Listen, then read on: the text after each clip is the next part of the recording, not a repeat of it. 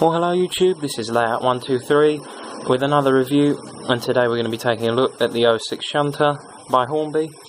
This is one of those models that everybody really knows, very very um, common in several different train sets and formats and packs that you can buy by Hornby. So without any further ado I thought I'd do a review of this train. Now this particular one has featured several times on my channel in several different videos.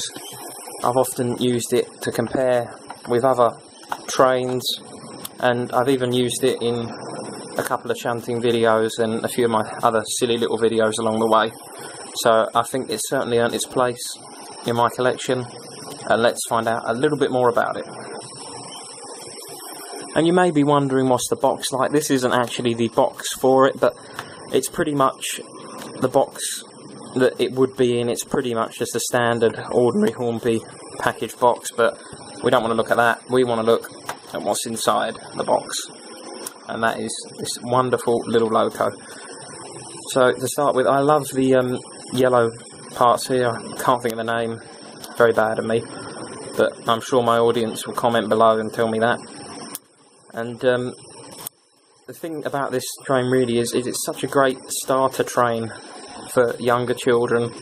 And that's this is one of the first trains I ever got.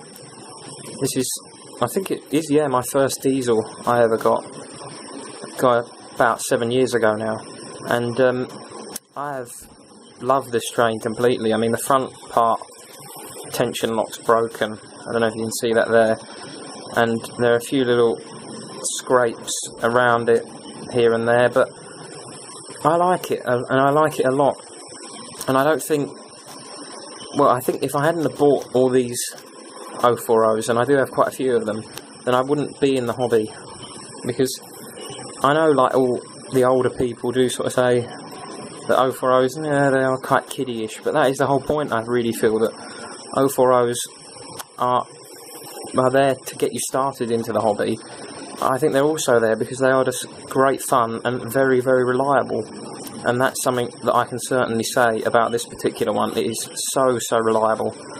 Just having a look at the side, you can see the 06003, the running number, and there's some little badge there or emblem, I'm not really sure what that's all about. And the British Rail logo features a little horn on top and some little white posts. No cabin detail whatsoever, but windows on this one, which is very nice feature. If we look underneath, then you can see all the licensing info to do with Hornby, made in China, and the fact that it is a um, 12 volt train, along with the gears, the power pickups, and everything else, which we always see with these style of toys. Which is, which is something I think that makes them really great, is the fact that you have, they're so simple to take apart and they're so simple to repair if they do go wrong. Often it's normally just if the power pickup's are a bit sticky on one side or if there's a bit of hair in it, you can quite easily take it apart and deal with it. And that is something that the 040s really do win on for me. And just sort of proving my point, if this, if the power pickups on this are no good, and I need to do something with that and take it apart, it will take me days. Days and days and days of thinking about it. I know this is so much more complex and so much more detailed. But if you're looking for simplicity, the 040 is the way forward for you, 100%. Because you can't fault it for that. I mean, it is so, so simple. And another good thing for me, personally, about these is the fact that um, they pretty much work very well together. If you put an 040 with another 040, it will often work pretty well as an evasive unit. Sometimes with all the larger trains, some of them are geared differently, but most of the 040s are geared pretty similarly, apart from the Bagnall Shunter, which is now got a much slower motor on it. But this is sort of the old school style of 040, and this is the classic version of the 06 in essence. But if we talk about the retail value of one of these, I mean, out of the box, they're worth very, very little nowadays. 15 to 20 in the box. You might get 25 for it, but I think Hornby have pretty much moved on with these. But without them, Hornby I don't think would be as successful as it is in the current market. because 040s have certainly helped Hornby to survive in the fact that younger people buy them, and so there definitely is a market for the elderly collecting these.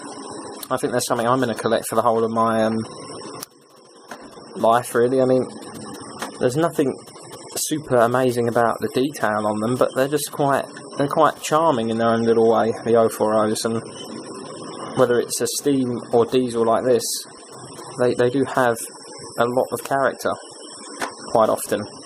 And I think I've talked long enough, and I think it's time we took it over to the layout and gave it a run. Okay, so there it is on the layout, and let's set it off.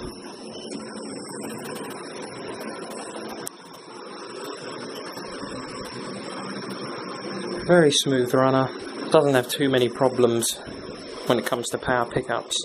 But that's not all the 040s, I have had some, it's a bit of pot luck really on that side of things, but you just got to take care of them and look after them. I think if I was rating it, probably I'd say 8 out of 10.